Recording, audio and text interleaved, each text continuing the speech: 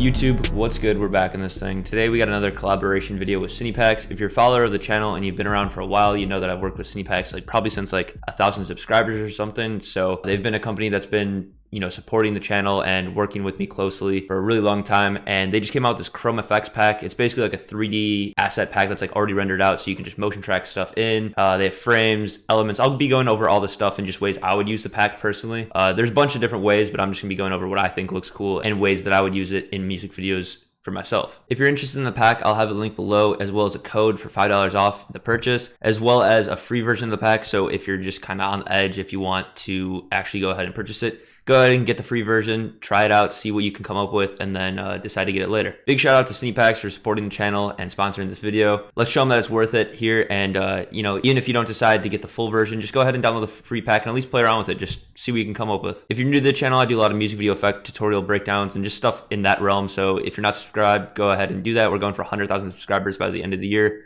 Really do appreciate it. And if you haven't already, like and comment. It really does help push my content to just other people that want to see my videos and stuff and it really does help me as a creator. One last thing before we get into the video, if you want to follow me on any other social medias, I'll have them linked below, my Instagram, Discord, Twitch, all that stuff. I'm really active on all of them. Come say what's up, kick it. Just a good way to interact with me outside of YouTube. But yeah, that's enough talking. Let's just get into the video and kind of go over how I would use these 3D assets. All right, so now they're on the computer. Before I go into After Effects or Premiere here, I'm just going to show you kind of what comes in the pack. So these there's these backgrounds. I go ahead and actually use one of them in the video that we're going over today. It's basically like these just like chrome kind of. It's a cool background if you use the elements and you don't have like your own footage. But I use it in a way with my footage and I think it looks really good. And then chains and barbed wire, just some cool like barbed wire stuff. I'm a fan of the barbed wire more so than the chains, but that's just personal preference. There's like even a transition where you can kind of just mask out. And one thing I really like about this pack is it has the chrome version that you can kind of tweak to fit the color of the atmosphere of your video, as well as these iridescent ones where you can change the hue and get a bunch of different crazy colors, as well as it just looks cool like this. And then we're gonna go into frames. Frames is a cool one. I think I used some of the frames in my video. It's just a good way to like split up clips. Say you wanted like a video here, you could crop in a video there and a video there and just have this cool look. A bunch of different things you can do with it. I'm interested to see what you guys come up with for sure. Like I said, for these ones, there's barbed wire and chains as well as iridescent versions of each of them going into objects. Object is definitely the biggest folder. I think in here there's going to be a lot of ones that you guys are interested in. I just like that there's a lot of variety and you can kind of figure out what you want to use in your video. I really like the objects folder because it comes with a lot of assets that you can motion track into your video super easily and you don't have to go spend time in Element or Blender making the 3D elements, you know, just spending a lot of time. It's pretty much just After Effects, camera track, and then just drag and drop the asset in. I'll be going over how to motion track it in really easily in After Effects as well in the video. Some of my favorite, I really like the butterflies. There's like even some transitions in here. Like I'll show you I, how I use this to do a transition. The skull one, there's some cool transitions here, as well as just some 3D elements that you can motion track in like that. I really like the cross. Uh, there's a spider there's just a bunch of different stuff. And like I said, there's the iridescent version of each of them. So here's like a car with iridescent. Uh, this is probably more so for like a trippy kind of video, which I think is cool. And I, I really appreciate that they uh, added this into the pack. The shapes tab is pretty simple. I think it's just a bunch of different cubes at different angles and stuff. I'm interested to see how you guys come up with this. I could probably come up with something cool, but in this video, we're not really going to be going over anything from here, but I, I, really like this one. The Cube Chrome 5 is cool. And then symbols is the last one, kind of like Wi-Fi, eject, cancel battery, just kind of like common symbols that you would see on the internet or just like on like your computer.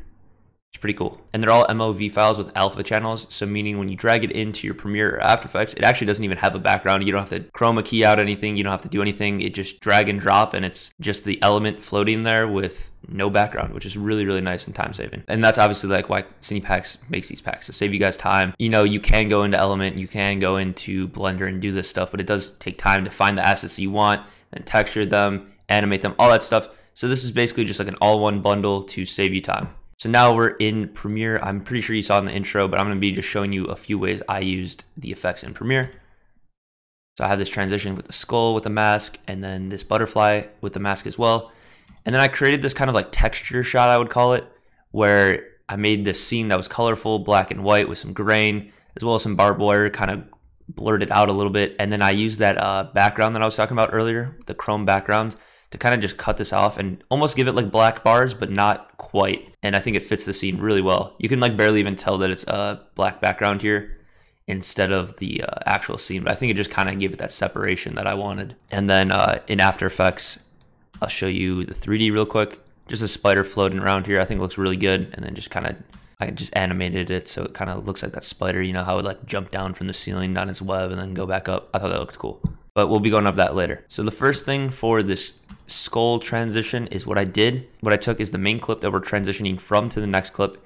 And then I just keyframed a crop to fit in the skull. So you can see if I turn on the skull, this is where the crop is. So then it's going to the layer below it and the layer below that is just the next clip. So you just have to have a clip underneath a clip, kind of like layered out like that. I'll show you that in a second. So basically all you need is a clip that you want to transition to, and then you just want a clip that you're going to and have a little bit of room where it's playing where you can't really see it. And then I'm going to drag the chrome skull in. You can use basically any of the 3D assets.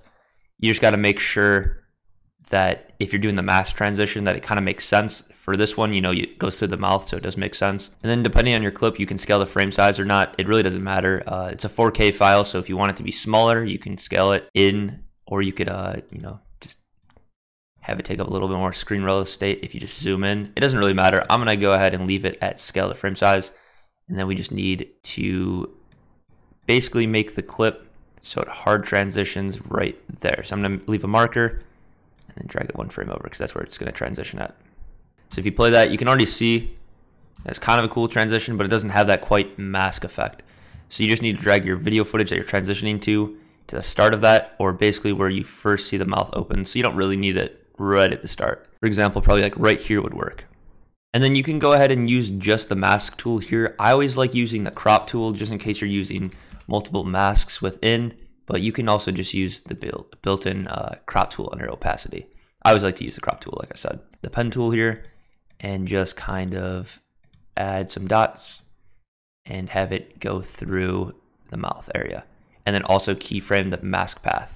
And then I'm just gonna go frame by frame, making sure that I tweak it so it fits the mouth each time. Also make sure to drag 100% on left or right or up or down, something like that, so it does expose the clip below it so you can see if it's working or not. And like I said, just going frame by frame, you might have to make it a little bit bigger. Just make sure you keyframe the mask path and it should do its job. And just go one frame by one frame each time. And this is like a really simple transition that I think looks really cool. It's just a good way to transition to a next clip. I would always try to use these elements when it makes sense and not just randomly put a skull, kind of how I'm doing here.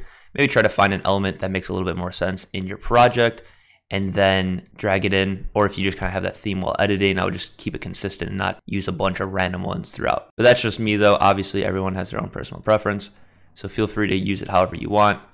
I'm just trying to show you guys how I would use this pack. So now that we're getting closer, you're gonna have to expand it a lot more. It is a pretty quick transition and there's built-in motion blur on the skull, which I really appreciate because if there wasn't that, I've seen some 3D asset packs in the past not have it. it does look kind of cheesy. So I, I really do like that they added that in. So you don't really have to have a super, super perfect mask, but it is uh, the better you do, the better it will look overall. And I think this is going to be the last frame where we can just kind of go all the way zoomed out. And if you can't see the points, you can go to fit here, go to something like 25 and just drag it out. I know that you can it's not really supposed to be masked there, but I think it doesn't matter too much. You're not gonna be able to notice. And then go back to fit and and then I messed up. Make sure at the first frame where you start, you just move the mask all the way out of the frame.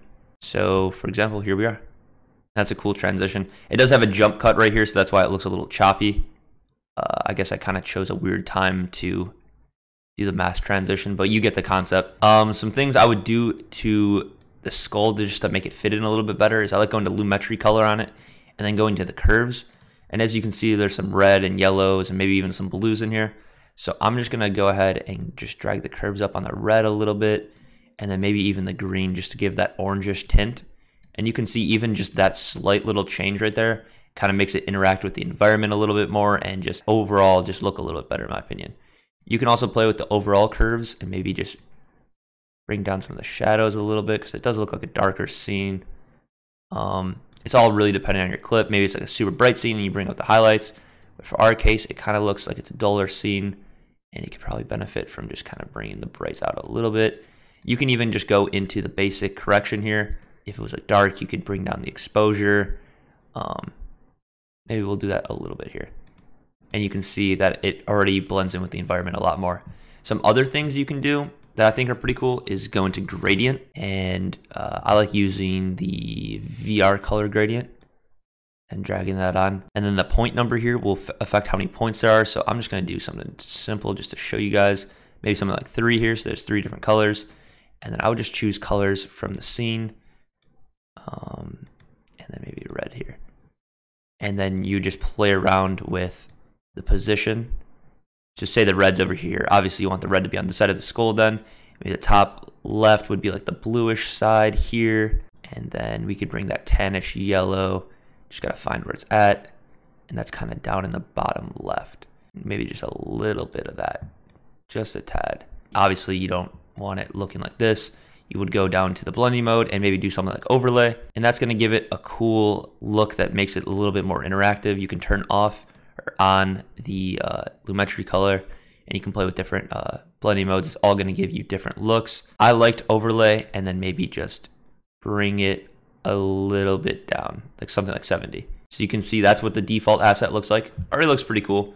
But then if you just do a few little tweaks to it and make it your own, it has a lot more feel to it. It makes it look like it's a lot more in the video itself. And another thing you can do if you really want to get crazy with it and make it look like it's interacting with the environment, you can keyframe the position of the points. But I don't think it's too necessary. I think it does a pretty good job making it look like it's here anyways. So that's how I'd use elements like that. I, you can see I did the same thing with the butterfly. Just I just went to a mask and just keyframe the mask here. You can see the butterfly just to match its wings flapping. That way you can see it exposes the next clip and flies into it. I think that looks really cool. There's a lot of different elements in the object folder that kind of do the similar thing, the hand transition, bunch of different stuff. You can even keyframe the 3D elements yourself and make your own kind of just like with animation. Now I'm going to be going over how I did this texture shot, I guess you would call it, with these barbed wire frames, that uh, chrome 3D background, and then just kind of making the shot have some texture. So basically you just want to find a clip where you think it would look cool. We'll just do this clip right here because it's basically right next to the clip we just did. So the first thing I would do is I would drag on some of the barbed wire frames or whatever you really want.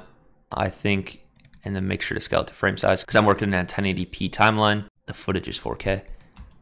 So I just drug that on that already looks kind of cool. Whenever using overlays and stuff, I always like tweaking them anyways. I, I never really like just dragging on assets and leaving them completely unique. I think it kind of takes away a little bit of creativity. So I like using these to enhance the video and, you know, make your own effect and stuff with that. So for example, something I would do is maybe go to crop and use that crop tool that I was talking about earlier. I would just crop out the chain.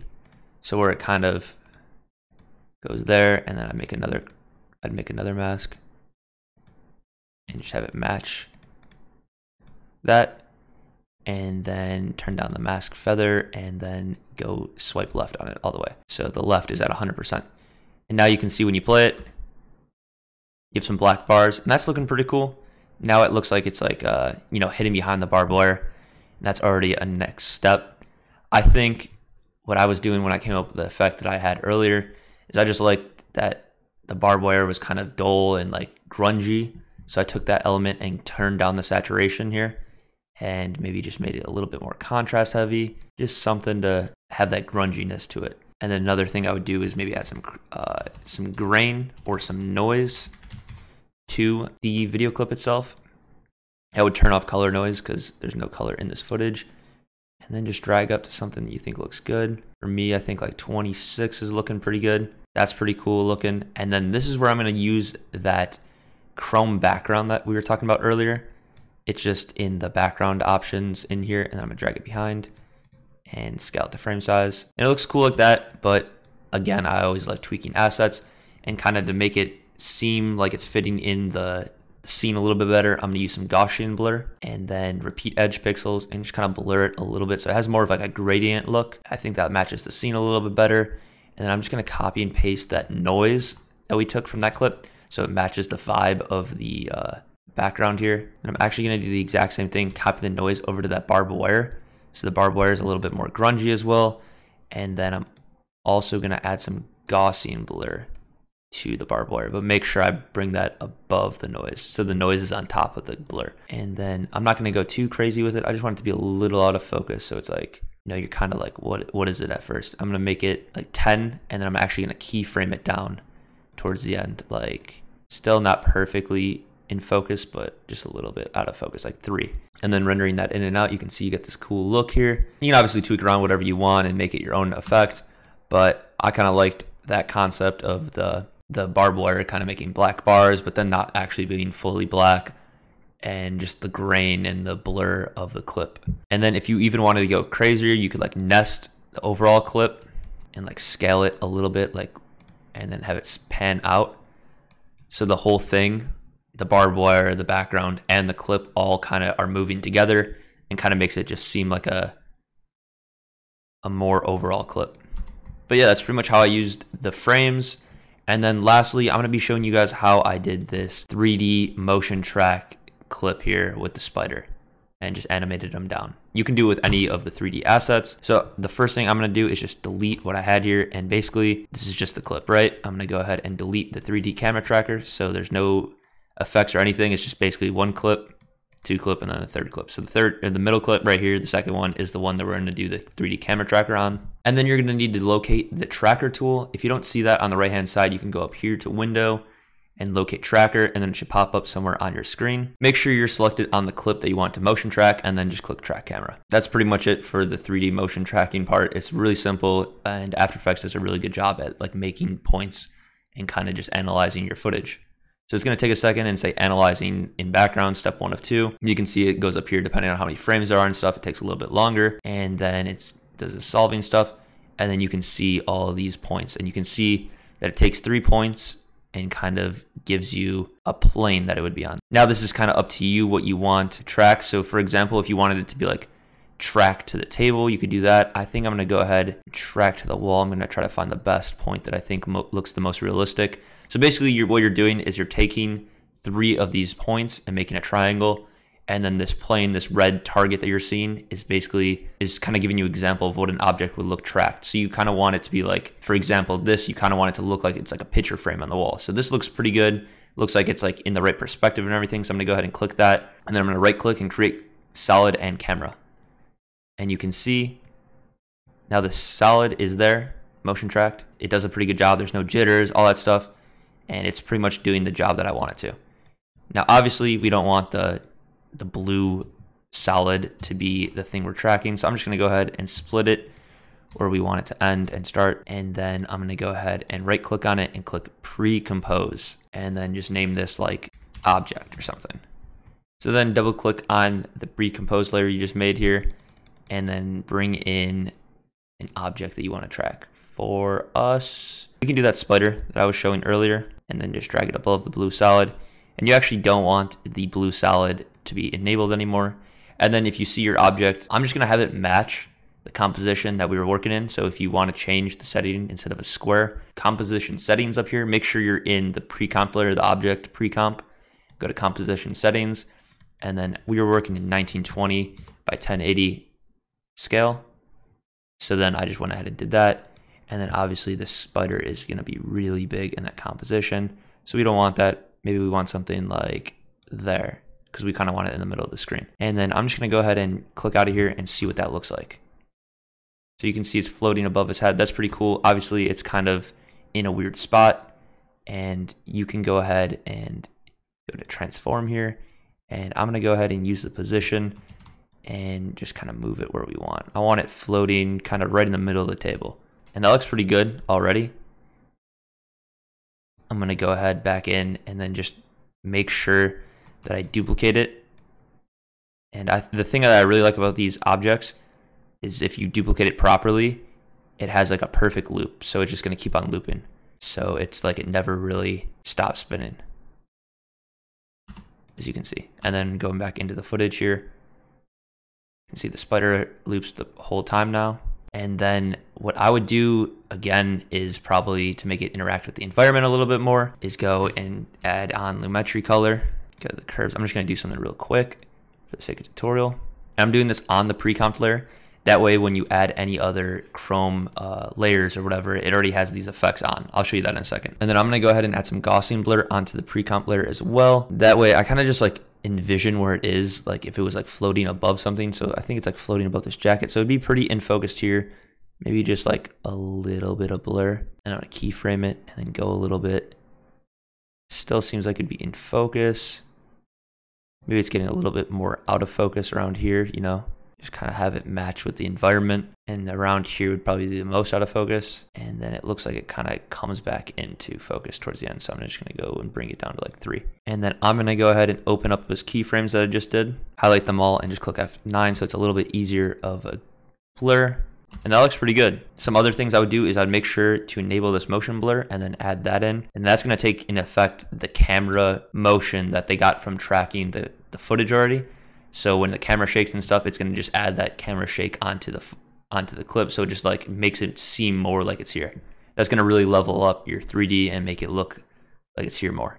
And then if you wanted to animate kind of how I had the spider coming in and out earlier, you can just keyframe the position where you want it. I'm gonna do like one, two, three, four, five frames or something and just add a keyframe exactly where you want it and then go back. And I'm just gonna have the spider be right out of scene here. And then I'm gonna do the same thing for the end. And I think that looks pretty good. I'm just gonna go ahead and easy ease these keyframes. You can play with the graph editor, do all that stuff, make it look a little bit more fancy, maybe a little bit more realistic. But yeah, then all you have to do is just say, you know, you don't want the spider for right now or whatever. You can go ahead and say, you know, the spider wasn't the element or whatever you wanted. Now you can just go ahead and drag in some kind of other element. Maybe, for example, I think this cross looks pretty cool. So then just go ahead and drag the cross in. And basically all you have to do is just scale it to the right size you want it now. Click S and then scale it to like that. And then I'm just gonna go ahead and duplicate that layer and drag it so it, it keeps on spinning throughout the whole thing. Now you can see when we go outside of this, it's going to already be motion tracked. It's going to already have that color correction to it, and it's already going to have that Gaussian blur. So basically all you have to do is just play around with the scale. Maybe that's a little small for what we're working with or whatever, but I think it looks pretty good. And uh, these are just examples. You can now just drag in any of the elements and it's gonna look like this. But yeah, guys, that's pretty much all I got for you guys in this one. If you made it all the way to the end, I really do appreciate you. Thank you very much. If you haven't already, like, comment, and subscribe go ahead and download the free pack if you're interested in the paid version of the pack, the full version. I'll have a link down below as well with my code. It'll save you $5 at checkout as well as support me as a creator. I'm excited to see what you guys come up with. Honestly, I think it's a really cool pack to save time and do the 3D stuff without really having to do 3D stuff. Shout out to CinePacks for sponsoring this video. They've been uh, rocking with the channel ever since like a few thousand subscribers and it's cool that we're still able to work and collaborate on some videos and some packs and stuff thanks to the guys over at CinePacks. But yeah guys, that's pretty much all I got for you guys in this one. Peace.